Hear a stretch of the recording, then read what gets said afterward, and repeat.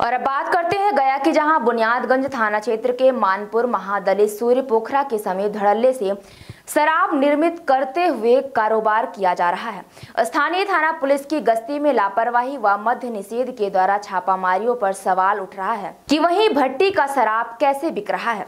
थाना से महज एक किलोमीटर दूरी पर शराब का कारोबार सवालों के घेरे में है। पुलिस प्रशासन बिहार के मुख्यमंत्री नीतीश कुमार सुशासन व्यवस्था को बरकरार रखने के लिए शराबबंदी का मुहिम कई वर्षों पूर्व चलाई थी, जो कागज़ पर ही सिमट कर रह गई है।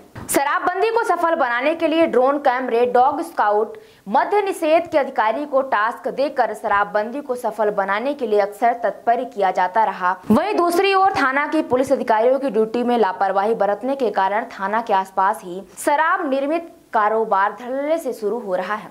दिन के उजाले में निर्मित करते हुए थाना के कुछ ही दूरी पर शराब कैसे बिक रही है?